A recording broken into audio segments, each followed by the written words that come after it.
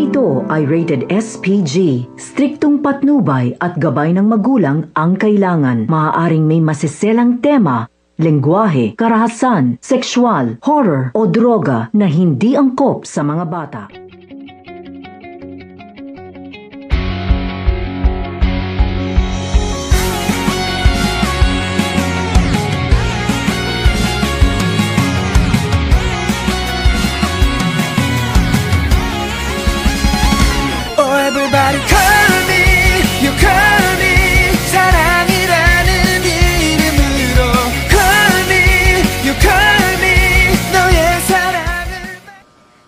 Guys!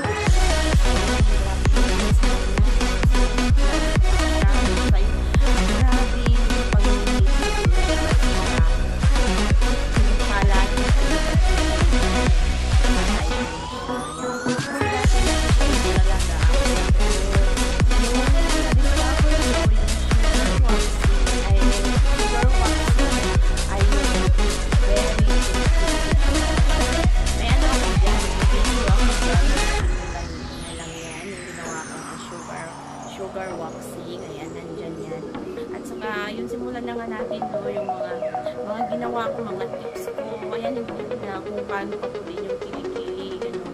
Ah, ako,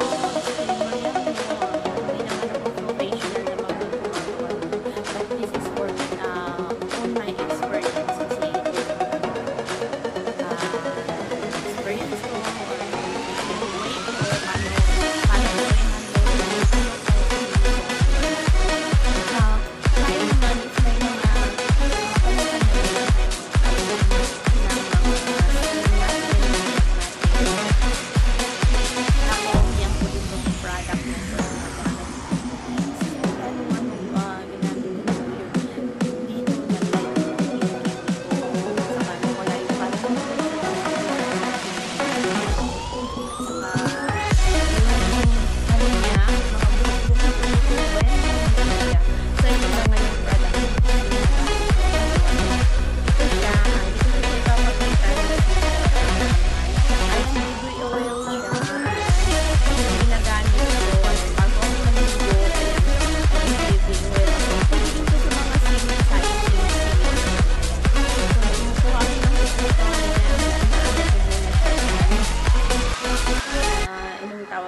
Dinadampi-dampi ko sa kilikili ko.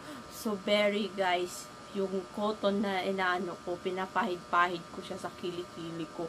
Super dumi, hindi mo mag ah, hindi ka mag-aakala na ganun pala kadumi yung kilikili mo.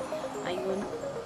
So, maa-amaze ka sa result niya. Kasi, pag ginaganon mo siya, wala siyang dumi. Pero pag pinahiran mo siya ng BB oil, dun mo siya makikita na ang dami pa ng dumi. Kaila, ah, bago ako maligo, ganun, nag, ah, ano ako. Minsan sa buong katawan ko na rin, oil ako. Ah, kasi yung kilikili ko talaga, sobrang bitin. Kaya subukan nyo gamitin, gam- gumamit ng BB oil sa kilikili nyo guys. Super effective. Ma-amaze kayo sa ano. At saka isa pa din sa, sa ano, ah, nakatulong sa akin para mag-lighting yung kilikili ko. Itong ginamit ko, ayan. Kasi gumawa ako ng pang-scrub ko.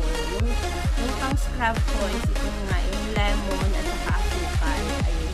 Yun yung pinapang-scrub ko pag naliligo ako yan sa mga sweet At saka, um, may baking soda siya. Ayan, kaya yun ang kagandaan. May baking soda siya, may vitamin D siya. At saka, ah, meron din siyang coconut oil. Ayan, nandyan din sa ano ko, sa video ko, kung paano ko siya ginawa. So, try nyo subukan to. Ayan, very healthy naman to. Ayan. And, ayan, ganyan siya guys. So, huwag kayong matakot mag-ano nito kasi okay naman siya. So, advice ko lang, ah, ayan, mag try nyo, din, try nyo talagang mag BB oil. Ayan, kasi yun ang ginagamit ko. Ayan. At saka, pagkatapos ko maligo, yun pa rin ginagamit ko. Minsan kasi sa mga deodorant, pag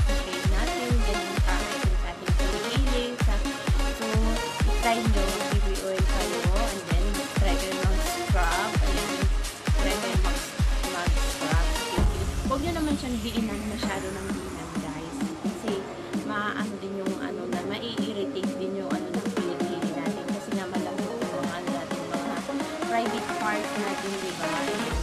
Malambot siya. So, kailangan din natin natin